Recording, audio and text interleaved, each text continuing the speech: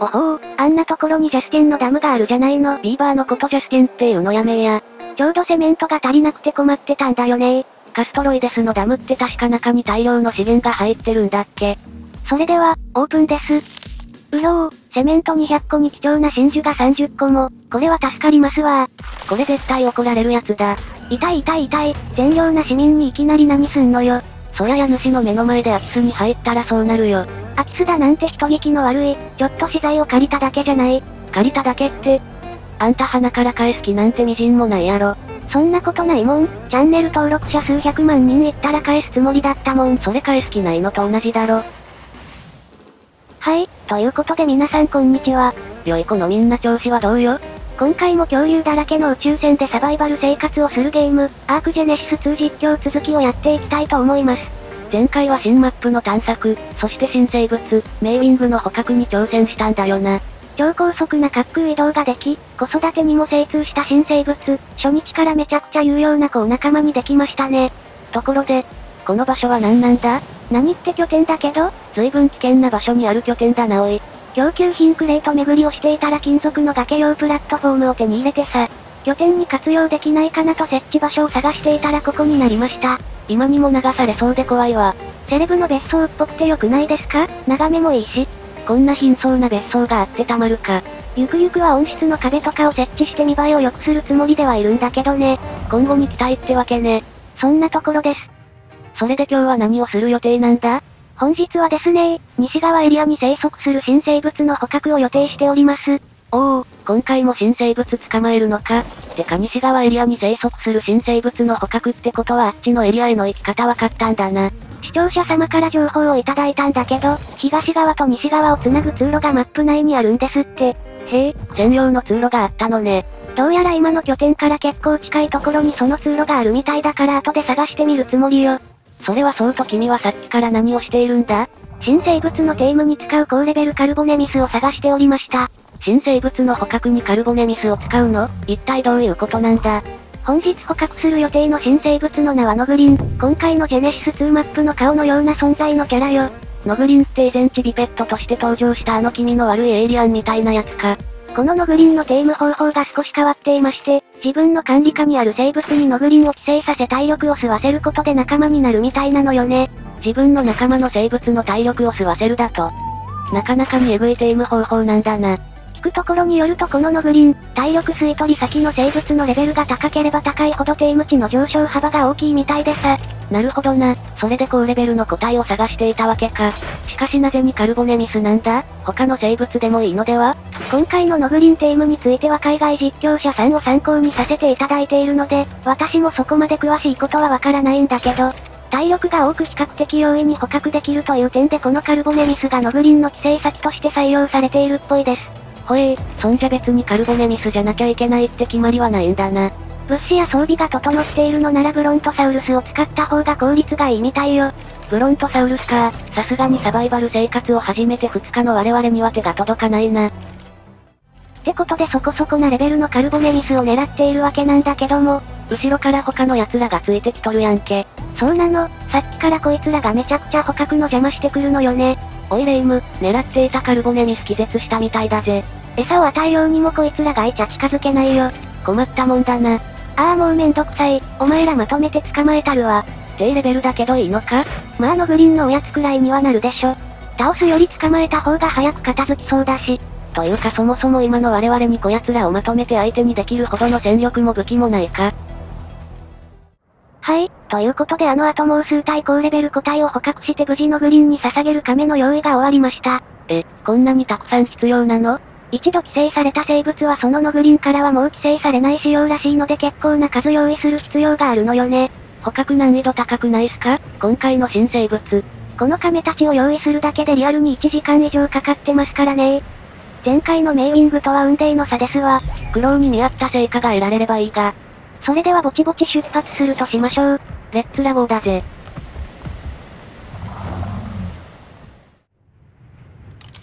あったあった、おそらくここですわ例の通路。こっから西側に行けるんか。そのはずです。しかし随分未来的な通路だな。SF ものの映画に出てきそうだよね。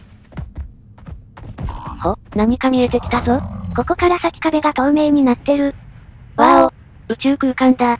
まがまがしいフォルムをした岩がいくつも宙に浮いてますね貴重な鉱石とか採掘できそう。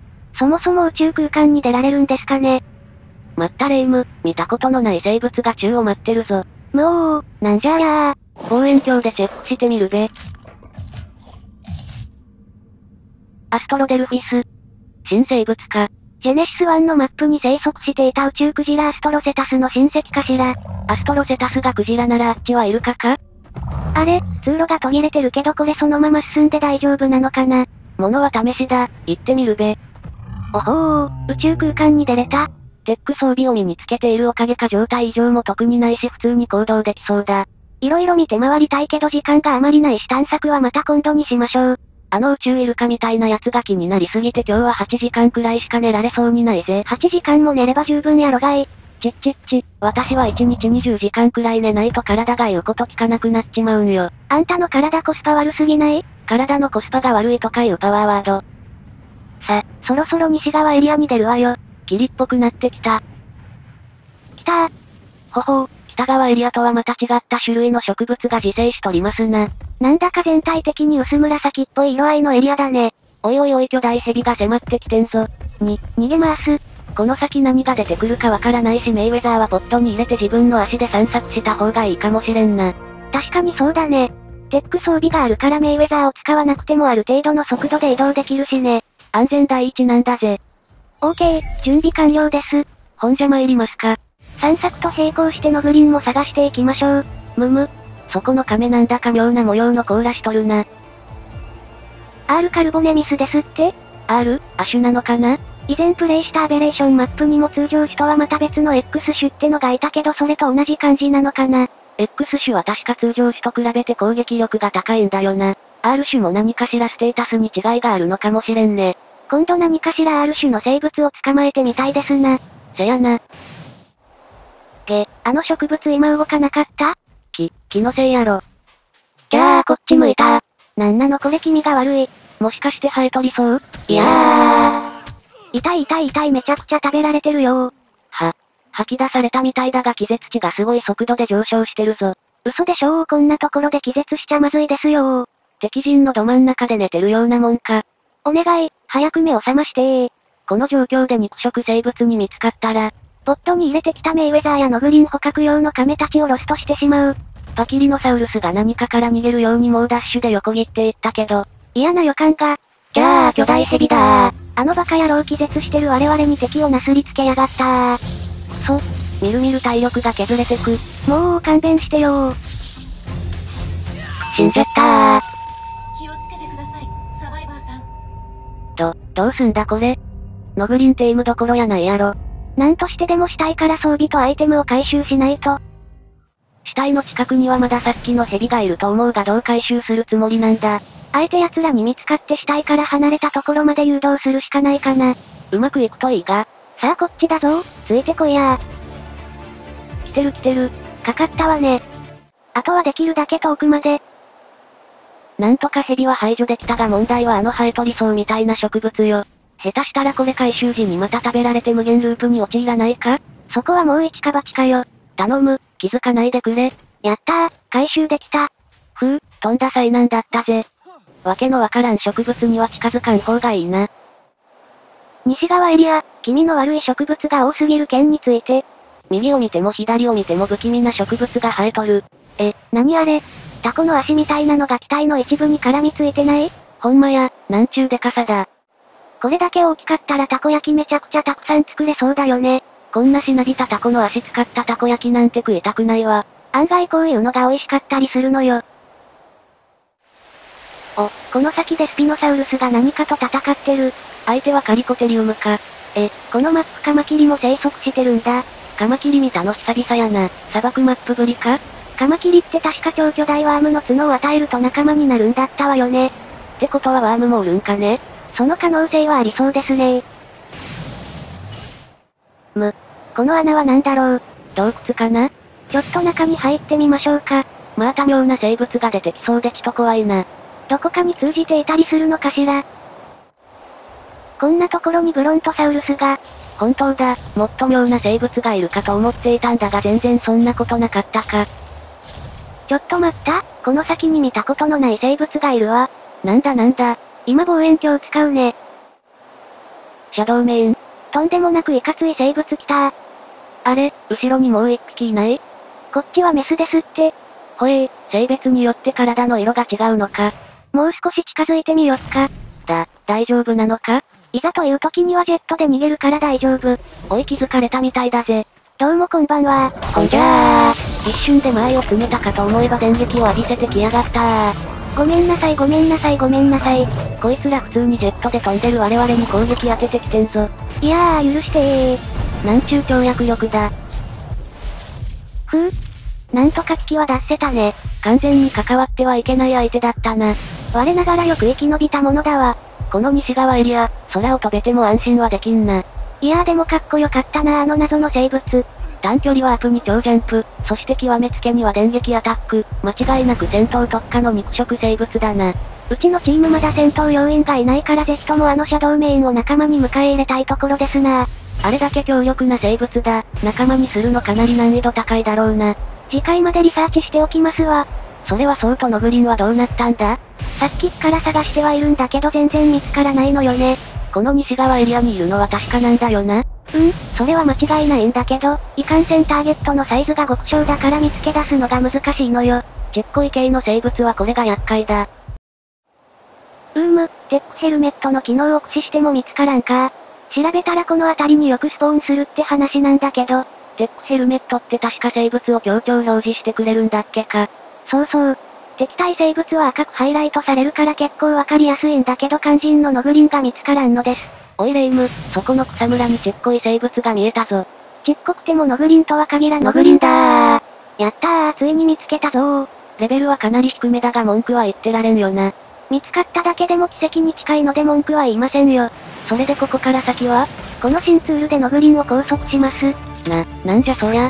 ハープーンランチャーで使うことのできるネット弾よ。これを食らった相手は一定時間身動きが取れなくなるの。ボーラの上位互換みたいなもんか。ノグリンが逃げないように周りをゲートで囲っていくと。おいおいおい誰か攻撃してきてんぞ。てやー、雲だー。早く、早くそいつをどうにかしてくれー。近くを歩いていた野生のカルボネミスになすりつけたからもう大丈夫。よかったー。ではゲートの設置を続けましょうか。ノグリンを閉じ込めたらこの中に餌用の亀を入れる感じか。ですね。しかし場所が悪くないかねこれじゃゲートの足元から逃げられるのでは？まあこれくらいの隙間なら大丈夫でしょ。絶対後で後悔するやつだ。あ、こうしてみると結構隙間空いてるね。亀で塞いでおくか。いやいやいやどう考えてもあかんやろ。うわーなんだこれ何かが頭にひっついてるぞ。ってよく見たらノグリンやんけやめてよ、私は餌じゃないって。ノグリンって人間にも寄生してくるんかいいやー食べないでー、話してー。え、画面が急に真っ暗になったぞ。ノグリン我々の頭から離れたみたい。そんで今度は亀に寄生したってわけか。よかったよかった、なんだかんだで狙い通りに行ったわね。ノグリンに寄生された生物は仲間だろうがなんだろうが無差別に攻撃するようになるのか、恐ろしいな。今も仲間の亀が我々に攻撃してきてたもんね。それで、あとはこのまま放っておけばノグリン仲間になるのか？あと何体か今と同じように寄生させないとダメだね。ふむ、ほんじゃ残りの亀もポットから出して我々は安全な場所で待機しますか。その前にテームゲージがちゃんと上がってるかチェックしないと。うんうん、うまくいってるわ。もう40%か、結構早いな。まだ安心はできませんよ。このノグリンたまにバグることがあるらしく、急に寄生しなくなることがあるんですって。そんなことがあるんか。規制をやめちゃうと徐々にゲージが減少していってまた最初からやり直さないといけない羽目に。ひえー。一度規制した生物はもう使うことができないのでそうなったらまた一から規制用の生物を用意しないと。めんどくさ。そうならないことを祈るぜ。